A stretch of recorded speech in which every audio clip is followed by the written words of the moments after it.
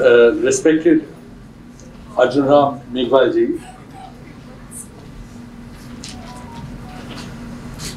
Mr. Chetan Sharma, Learned Additional Solicitor General, Mr. Mohit Mathur, President of the Bar Association, Mr. Gupta, President of the Lawyers Voice, and Mr. Neeraj, whom I know for a very long time because he was the secretary of the Patiala House Bar Association at one time. And uh, Mr. Vikrant Yadav, Honorable Secretary, Supreme Court Bar Association. Distinguished ladies and gentlemen, I was telling the Honorable Minister that I have rarely seen such a packed house as I have seen today. And I told him the audience has come only to hear you. In fact, uh, let me begin with two explanations. I came in a bit late because there was a farewell function for two of our judges who had been transferred.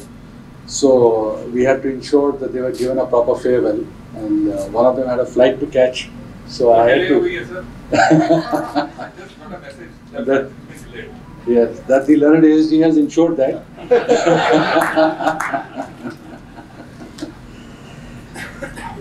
Is the other thing I would like to tell you is that I had stored all my old acts and I had not allowed them to be disposed of, though I had been a judge for about 16 years because I said I will need it after some time.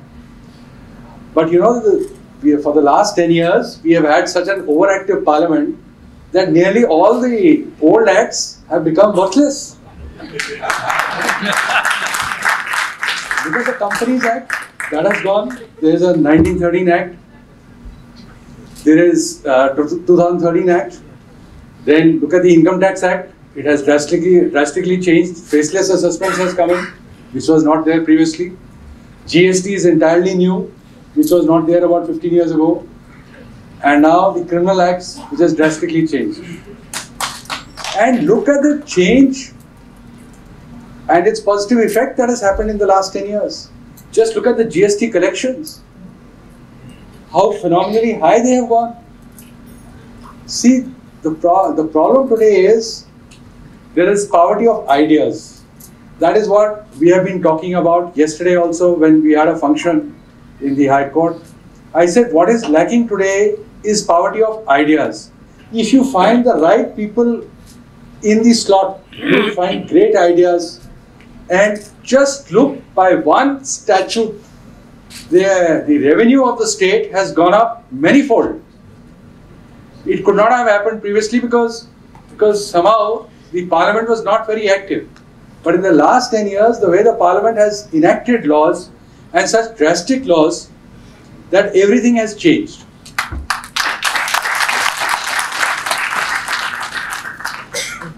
You have also heard with regard to the penal codes which are now coming into force, the two versions, one by Mr. Mahesh Jet- the other view has been presented by Mr. Mohit Mathur, and the ASG has given the balanced view. So really, we, I have nothing to say. and as a judge, I would not like to talk about the new laws because you don't know when the validity comes before you or the legality comes before you. But one thing I would like to share is my experience as a judge sitting on the criminal side. And really, I felt that the whole scenario needed an overhaul. And I will illustrate that by giving you a simple example. I was sitting on the criminal side and I was hearing a murder matter where the allegation was that the husband had murdered his wife. It's a disposed of matter, so I can talk about it. The allegation was that the husband used to beat his wife every evening. And since he used to live in a congested locality, the entire locality used to get together virtually in the evening and used to try to explain to the husband or try to make him understand that he should not do this. This girl is a nice girl, she should be allowed to stay over there. The marriage was not very old, it's just about a year old. But the husband would just not listen and would beat his wife mercilessly. And every day there would be quarrel between the husband, the wife, and the, the entire neighborhood would come and try to resolve the issue. One day, he banged her head so violently against the wall that she cried for a long time and the entire, as they say, the mohalla gathered together. And unfortunately, the lady died on the spot after about 10 minutes. And this happened in the presence of the entire community. The community was so agitated that they wanted to burn the accused there and then. The police arrived and the police sent wireless logs saying, please send reinforcements. The people believe that this husband has murdered his wife and they want to burn the husband alive. Imagine the entire mob is there and the police wireless logs are saying that please send reinforcement immediately, otherwise we will also be burned over here. So we are trying to uh, protect the husband because we want him to go through the process of law. But the crowd is so agitated over here that not only will he get burned, will we get burned.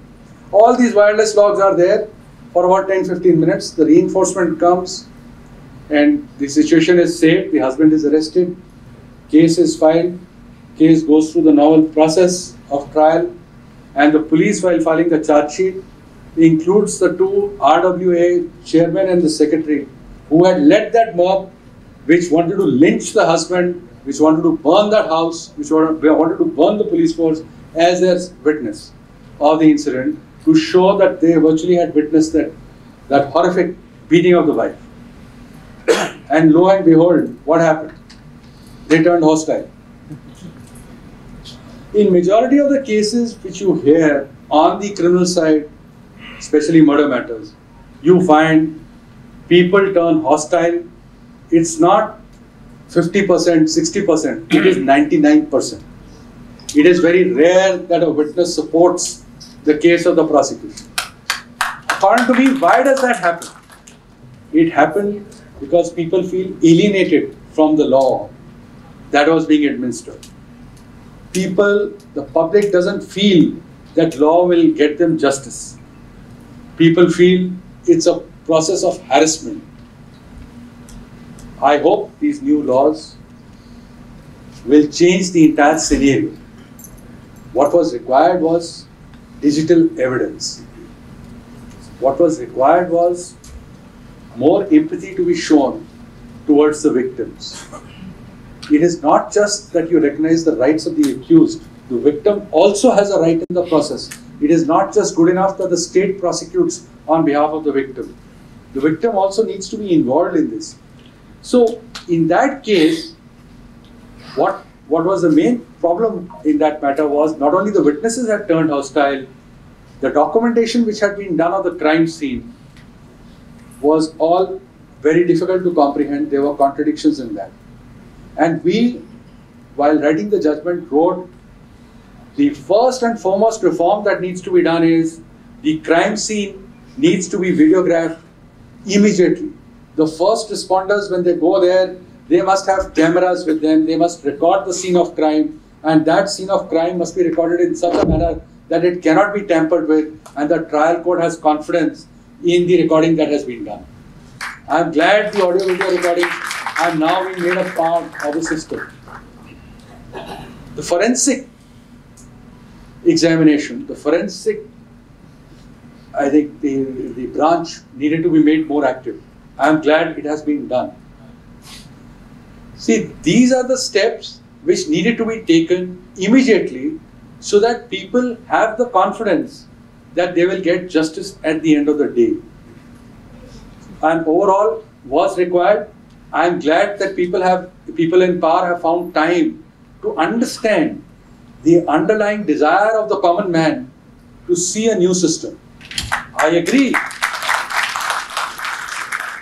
May not be foolproof in the first instance. It may need amendments. But at least someone has thought about it and someone is working on the, those lines. That, I think, is a big improvement and a big issue. The other is, as was pointed out by the ASG and Mr. Mahesh Jethmalani, that certain timelines have been laid down for certain issues. I think that also was required because matters tend to drag on and by the time the evidence gets recorded, our memory fails and contradictions come in the deposition which is very difficult to reconcile, especially with the good uh, bunch of lawyers that we have who are appearing on the defense side. So it's very challenging, but I'm glad that the Parliament has found time to work on this, to bring about amendments. And I, I hope this exercise doesn't stop with just these acts. People gain from their experience and continue with this process. Thank you very much.